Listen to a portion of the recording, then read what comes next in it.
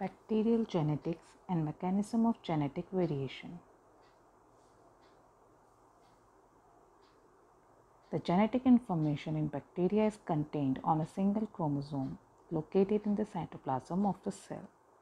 It facilitates the simultaneous replication, transcription, and translation of bacterial genes that leads to phenotypic variation observed among bacteria.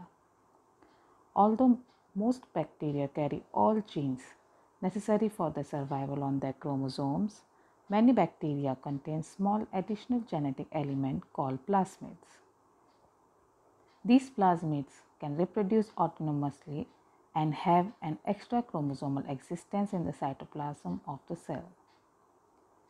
In pathogenic bacteria, plasmids encode for virulence factors and antibiotic resistance gene. Replication of bacterial DNA. The process of replication of bacterial chromosome is semi-conservative in nature. That is, each newly synthesized double-stranded DNA molecule is composed of a parent strand and a newly synthesized complementary strand. Replication begins at a specific location known as origin of replication and it proceeds at the rate of 1000 nucleotides per second. The process is coordinated by two key enzymes, DNA helicase and DNA polymerase. DNA helicase unwinds the two parent DNA strands of a double helix both the strands act as a template for the synthesis of new complementary strands using the enzyme DNA polymerase. Later, the ends of a newly synthesized complementary strands are joined together by the enzyme DNA ligase forming circular chromosomes. Transcription Transcription is the synthesis of mRNA complementary to the DNA base sequence by the enzyme DNA dependent RNA polymerase. The RNA generated is known as messenger RNA or mRNA. The RNA polymerase enzyme separates the DNA strands and synthesizes a complementary RNA copy from one of the DNA strand which is called a positive strand. The mRNA synthesis begins when the RNA polymerase enzyme align opposite to the exposed base sequence that are complementary to the promoter site on the parent's positive strand DNA. Once mRNA is generated, RNA polymerase enzyme detaches from the parent DNA molecule and double helix is formed. Translation The process of protein synthesis in which the genetic information encodes on mRNA is translated into the sequence of amino acids on a polypeptide chain is called translation. The process depends on complementary base pairing between codons on mRNA and anticodons on tRNA. Ribosomes bind to mRNA and move along the molecule in 5' to 3' direction until it reaches a start codon. It further catalyzes the formation of peptide bonds between adjacent amino acid and move along mRNA molecule synthesizing a polypeptide chain until it reaches a stop codon. At this point, translation ceases and polypeptide chain is released. Genetic variation. Genetic variation leads to two types of variants, phenotypic variants and genotypic variants. Genotypic variants are produced either due to mutations or transpositions or recombination. Mutation It is a sudden, stable, and inheritable change in the cell's chromosome. Mutation can either be caused spontaneously or can be induced. Spontaneous mutation are the result of rare mistakes in DNA during cell division. Mutations can also be experimentally induced by physical, chemical, or biological mutagens. It results in a genotypic and phenotypic changes which may be beneficial or damaging. Spontaneous mutations are caused due to rare mistakes that occur during DNA replication or movement of transposons. Rate of this type of mutation varies from 10 to the power minus 4 to 10 to the power minus 6 mutations per gene per generation. Many of the spontaneous errors are repaired by different mechanisms available within the cell. Induced mutations are caused mainly by radiations like X rays or UV rays. The ionizing radiations break covalent bonds, including those in DNA, and are one of the leading causes of chromosomal mutations. UV radiation causes purines and pyrimidines to form abnormal dimer bonds and bulges in the DNA strand.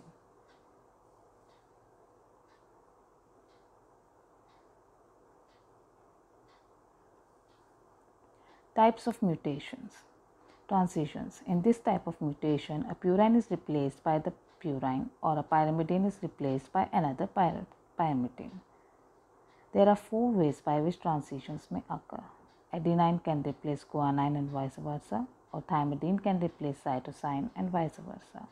Most of the transitions result in synonymous substitution. Transversions. In transversions, purine is replaced by pyrimidines or pyrimidines is replaced by purine such that adenine can get replaced by thymine and vice versa or guanine can get replaced by cytosine and vice versa or adenine can get replaced by cytosine and vice versa, or guanine can get replaced by thymine and vice versa. Transversions mostly results in non-synonymous substitution. Both the types of mutations come under the category of point mutation. Based on the reading sense of codons on mRNA, mutations can be categorized into non-synonymous missense mutation, in this type of mutation, there is change from one amino acid to another. In the image, we can see there is transition mutation from AT to GC resulting in changes in the codon that change amino acid lysine to glutamic acid. Next is nonsense mutation. In this type of mutation, there is a change from an amino acid to a stop codon. In this image, there is transversion mutation from AT to TA resulting in changes in the codon from lysine to stop codon UAA. This will stop the further extension of polypeptide chain. Neutral non-synonymous mutation. In this type of mutation, there is a change in an amino acid to another amino acid with similar chemical properties. In the image, we can see AT to GC transition mutation that changes the codon from lysine to arginine. Here, the protein function is not altered. Based on the changes in the reading frame of codons on mRNA and changes in the functional properties of protein generated, mutations can be categorized into synonymous or silent mutation. In this type of mutation, change in codon is such that the same amino acid is specified. Image shown here is an AT to GC transition in the third position of codon. This will generate codon that encodes lysine and not affecting the function of the protein generated. Second is the frameshift mutation. Addition or deletion of one or a few base pair leads to a change in reading frame. In the image shown, there is the insertion of a GC base pair that scrambles the message after glutamine. This will lead to translation of incorrect amino acid that is stop codon generating shorter polypeptide or read through of stop codon generating longer polypeptide. Such mutation alters the function of a final protein. Deletion. Deletion is the form of mutation in which the part of chromosomal segment is missing. It starts with chromosomal breaks induced by heat or radiation, virus, chemicals, transposons, errors in Deletion don't revert because the part of the DNA is missing. Inversions.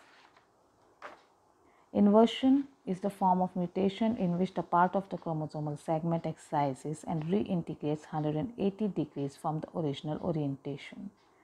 It is of two types pericentric inversions, in which the segment of the DNA undergoing inversion includes the centromere, and paracentric inversion, the segment of DNA undergoing inversion do not include centromere.